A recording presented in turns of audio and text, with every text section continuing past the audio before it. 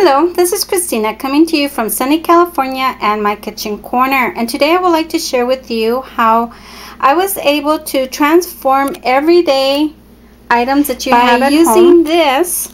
And these are skull decals. And these are purchased from the 99 cents only store. And um, comes with um, eight decals and then some little florets and bones. So what I'm going to do is I'm going to take um, these stickers and I'm going to decorate this cookie jar and a sugar skull decal and I, I think it looks cute. And then these you already saw that I um, did um, last month and um, I really love it. I love that coffee pot and then all the little matching um, coffee cups. And yes I have not used these to serve coffee and I'm sure that once I wash them they'll probably come right off.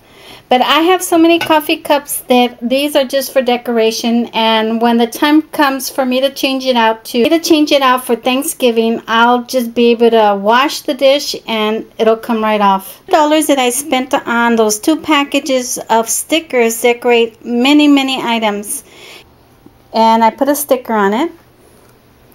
And this is a whiskey bottle that I um, cleaned up and I'm going to use it as a decanter. And I put a sticker on it. How pretty this looks.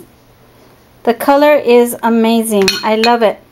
And then um, you might remember these from a um, Christmas thrift store haul. Just added a sticker to it and look how look how fancy they look now and I have three of them so I put um, stickers on two only. The third one just to give you an any. idea of how you can dress up your everyday items with um, decals. Okay so tell me what do you think? And um, do you ever do this?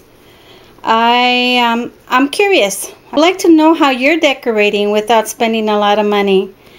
And okay so if you like this video give me a thumbs up comment please I would love to hear from you.